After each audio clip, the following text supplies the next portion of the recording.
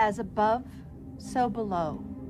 The human being finds himself, or herself, in the middle. There is as much space outside the human, proportionately, as inside. Stars, moons, and planets remind us of protons, neutrons, and electrons.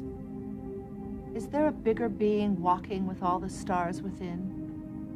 Does our thinking affect what goes on outside us and what goes on inside us? I think it does. Where does creamed corn figure into the workings of the universe?